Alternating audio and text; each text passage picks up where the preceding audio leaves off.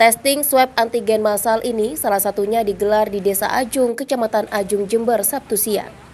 Swab antigen massal ini dalam satu titiknya dengan target 100 orang.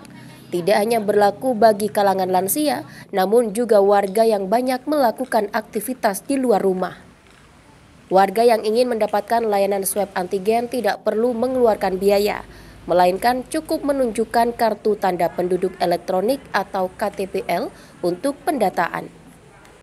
Dalam kesempatan ini Bupati Jember Hendi Siswanto hadir dan memantau langsung, memberikan himbauan bagi warga agar tidak menggelar pesta hajatan ataupun yang mengundang orang banyak.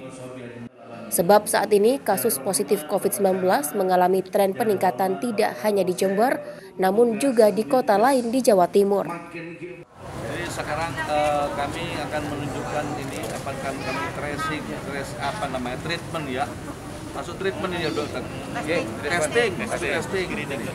Ya kita masuk testing. Ada tiga T yang akan kita lakukan. Kalau kalau tracing ini kan kita akan apa ke masyarakat yang sudah kena, yang apa berdampak itu kita tracing.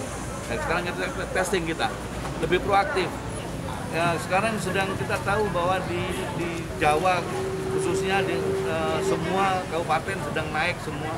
Dan ini apalagi sekarang ada varian baru namanya apa yang delta ini uh, gawat ini. Ini dari India suka lompat-lompat karena suka lari mungkin ya lompat ya.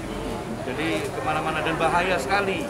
Dan tidak bisa lagi bukan hanya apa bersalaman tapi jarak 2 meter 3 meter itu bisa bisa nular itu Testing swab antigen massal sendiri bertujuan guna mendeteksi dini dan mencegah sebaran COVID-19 varian Delta dari India yang kini terus menghantui.